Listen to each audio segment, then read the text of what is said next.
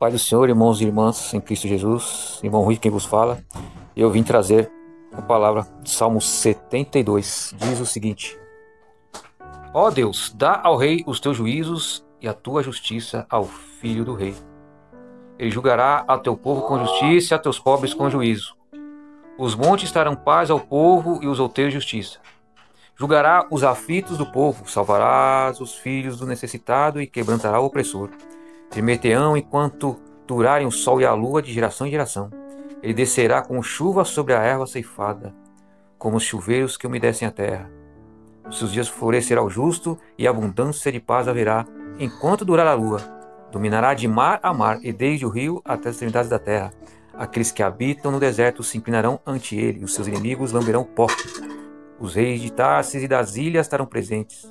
Os reis de Sabá e de Seba oferecerão dons. E todos os reis se prostrarão perante ele, todas as nações o servirão. Porque ele livrará o necessitado quando clamar, como também ao aflito e ao que não tem quem o ajude.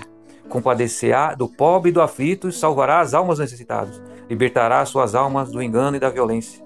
E precioso será o seu sangue aos olhos dele. E viverá e se lhe dará do ouro de Sabá, e continuamente se fará por ele oração, e todos os dias o bendirão. Haverá um punhado de trigo na terra sob as cabeças dos montes. O seu fruto se moverá como o Líbano, e os da cidade florescerão como a erva da terra. O seu nome permanecerá eternamente. O seu nome se irá propagando de pais a filhos enquanto o sol durar. E os homens serão abençoados nele. Todas as nações lhe chamarão bem-aventurado. Bendito seja o Senhor Deus, o Deus de Israel, que só ele faz maravilhas. Bendito seja para sempre o seu nome glorioso e encha-se toda a terra da sua glória. Amém e amém. E aqui acabam as orações de Davi, filho de Jessé. Glória a Deus.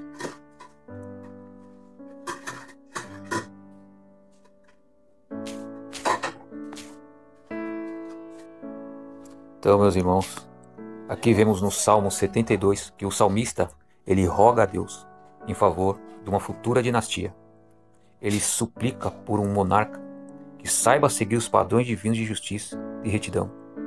Para isso, ele invoca a bênção divina sobre a dinastia davídica, né? para ser um instrumento de realeza de Deus na terra. O monarca ele precisa viver e agir de acordo com a vontade divina, com a vontade de Deus. E a manutenção da paz e da prosperidade, ela reside na sabedoria do rei, do governador, em preservar a bênção por muitas gerações, realizando um governo de justiça e de julgamento. E a prosperidade desse rei, ungido, será comparada à chuva sobre a campina, numa imagem vivificante né, que remete a um novo renascimento para o povo de Deus. Então, o governante, esse governante, ele exercerá grande domínio sobre as nações, que elas se submeterão a ele né, e o bendirão para sempre. E haverá um longo período de paz, né, estabilidade, com um governo justo e próspero. Então, no Salmo 62, ele centraliza qualidades e atitudes necessárias para o governo de um grande rei. Ele viverá para defender os oprimidos, né? Será um governo de paz e segurança aos vulneráveis, né? Justiça aos injustiçados. E o salmista ele utiliza essa expressão, né?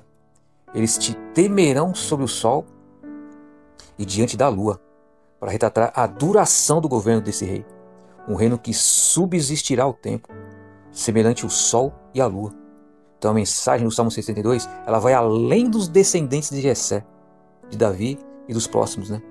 Ao fazer referência ao reino universal e eterno de um soberano perpétuo, meus irmãos, que segue firmemente a justiça de Deus. Amém.